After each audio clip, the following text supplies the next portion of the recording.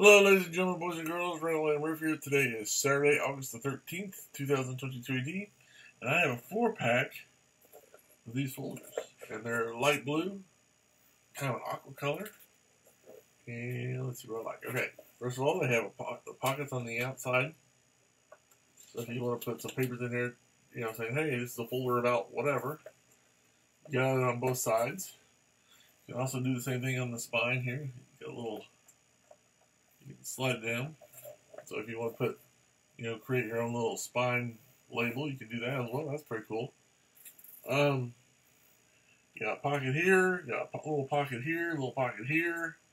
And of course, you got your three ring binder here, which do it the right way here. The fact that it's not round is a little different, that's okay, no big deal.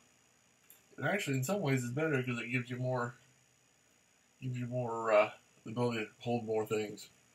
Uh, at least I think that's the purpose of it, uh, as compared to just a, a complete, you know, it's not round all the way. So I think the idea is you can, you can stack more papers this way because it's not completely round.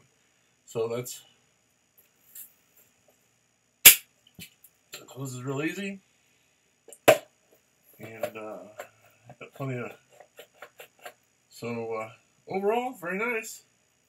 I wish it was a little bit thicker. The the material was a little bit thicker, um, as far as you know the thickness of the thing, but overall it's very nice. So no complaints. Um, other than I wish it was thicker, which would make it more durable and so on. But again, as these kind of folders go, I would say this is the sta- uh, industry standard.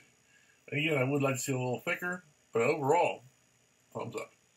So until next time, I'm Marilyn Roots. I thanks for watching. Have a good day. God bless.